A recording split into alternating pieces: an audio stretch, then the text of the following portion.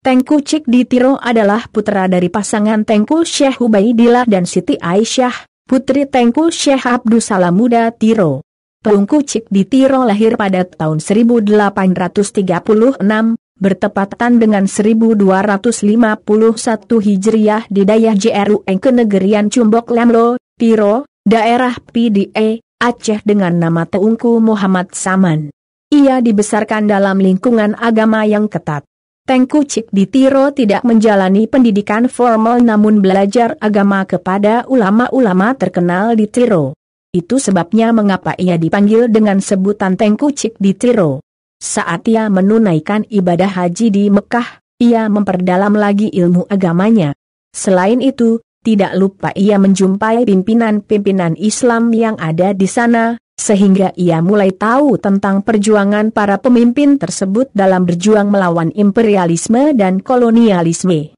Sesuai dengan ajaran agama yang diyakininya, Muhammad Saman sanggup berkorban apa saja baik harta benda, kedudukan, maupun nyawanya demi tegaknya agama dan bangsa. Keyakinan tersebut dibuktikan dalam kehidupan nyata yang kemudian lebih dikenal dengan Perang Sabil. Pada saat Aceh Besar jatuh di tangan Belanda dan kekuatan Aceh makin melemah, Tengku Cik di Tiro muncul untuk memimpin perang. Dengan perang sabilnya, satu persatu benteng Belanda dapat direbut.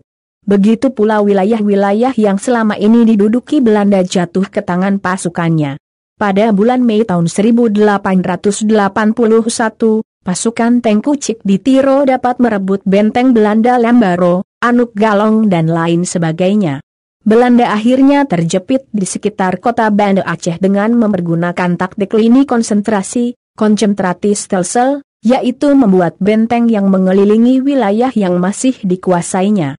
Karena merasa kewalahan dengan serangan yang dilakukan pemimpin Aceh, Belanda segera mendatangkan bala bantuan dengan perlengkapan perang dalam jumlah besar.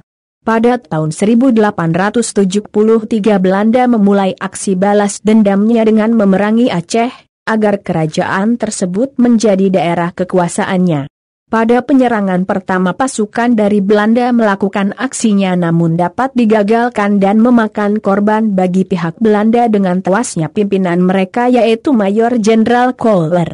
Kegagalan ini membuat Belanda menjadi geram, Akhirnya mereka memperkuat barisan pasukannya dengan tembakan-tembakan meriam dari kapal perang yang berlabuh di pantai. Akhirnya keadaan seperti ini membuat Aceh mulai mundur. Tengku Cik di Tiro adalah tokoh yang kembali menggairahkan perang Aceh pada tahun 1881 setelah menurunnya kegiatan penyerangan terhadap Belanda.